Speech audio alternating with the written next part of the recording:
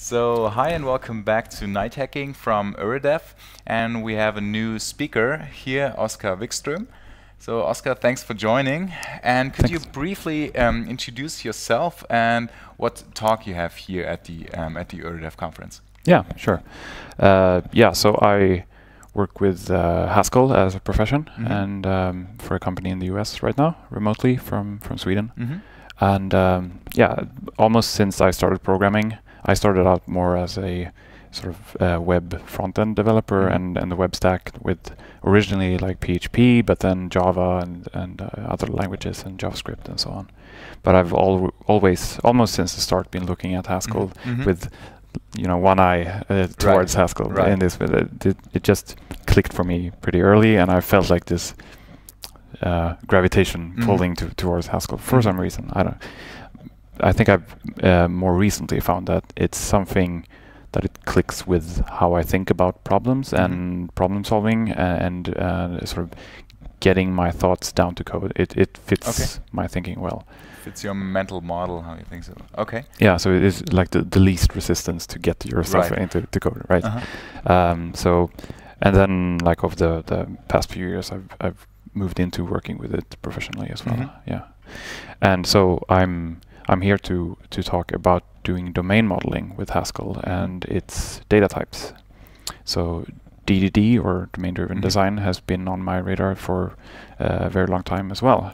And during all this time, I've tried to apply Haskell in that setting Right. which I mean DDD is not so much about technical stuff. It's th- there are the uh, what they called um, the tactical design decisions, Right. but then you have the, the larger strategic design decisions, which are the, the most important ones, I think. Um, and it doesn't really matter like which Mhm. language you use, but uh, I find Haskell to be very nice in the tactical setting. So Okay, so this maps well um, with the DDD approach and with, I would say, a more real-world usage for um, for applications, right? For because uh, Mm. DDD in general is like very, uh, I would say, uh, not pragmatic but practical Yeah. um, to use for real-world projects and how to how to solve problems, right? Yeah. So what's your experience? How well that works uh, in a Haskell world? So the, the thing that's nice I find about, about Haskell is that you can take your your domain rules Mhm. and, and the concepts and really put them into data types.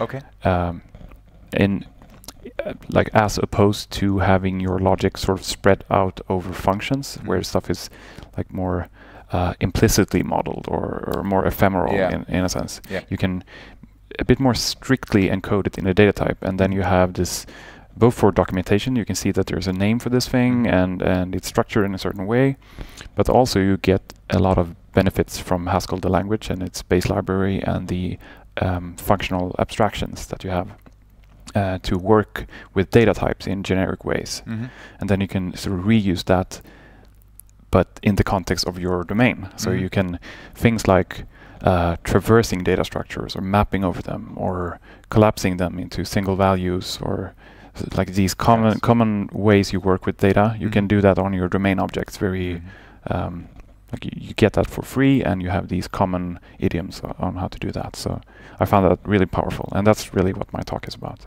Okay, so that that sounds like it allows you even, even more flexibility uh, to put more functionality within uh, into the domain models uh, already the domain entities, Hmm. as opposed to um, m- more um, more uh, widely used uh, object-oriented programming language. Yeah, I guess um, like the first step you can do is to take the nouns of your domain, Mhm. sort of, and put them into records or classes or whatever, what Yeah. have you, in your language, right. right? Yeah, and then you've you, you've come some way. But then Mhm. you also have like all the behavior and the, the processes and the Mhm. rules that are not like person with first name and last name, right? But something harder to model as a uh, as a data type. But if you can get more of those things also as data types, that you can describe um, computation as a data type, Mm-hmm. Uh, then you have more information as data types. And I, I think especially with Haskell, you you leverage uh, a lot more of the type system and the compiler if you have uh, these things as data types because like as usual, you know, the requirements change and the system has to evolve. And then you can change the data type that really maps to the thing that you wanted to, like the requirement that, that actually changed, right?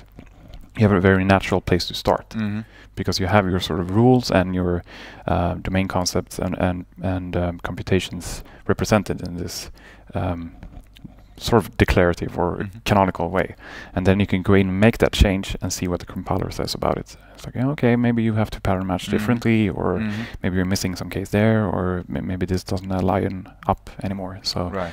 um, I find that really useful because you have more of your rules and your Mhm. knowledge in, in this sort of machine checkable Yeah. format. Um, so yeah, It makes a lot of sense. So um, what I also find very interesting is that you produce educational videos on specifically on Haskell. Yeah. And make them available online. Right? So Mm. what was your motivation to to share that to produce these? yeah, good question. Um, I think it's a, a mixed bag of, of various observations Mhm. and um, experiences. I was very inspir- uh, inspired by um, the uh, Destroy All Software screencasts by Mhm. Gary Bernhardt. Mhm. I find them really concise and, and well planned and, and nice to, to watch. Uh, and his, you know, the general style of them. Uh, and for for Haskell, I like there weren't that many screencasts and, and video I was materials. just about to ask. There's probably not that much material out there, right? Right, th- th- there's actually coming more right now, like uh, the, the last year. Um, so So you started a trend. maybe I didn't start it, but uh, I was maybe part of it at Mhm. least. Yeah. Uh, so th- there's a couple more, and um, but but yeah, I've I've uh, had this ideal of of like what I think they should be like, or w- what I like Mhm. watching. Then I, then I wanted to make that myself. Right. That are these short, sort of fast-paced, concise, uh, like under 10 minutes is the goal. yeah.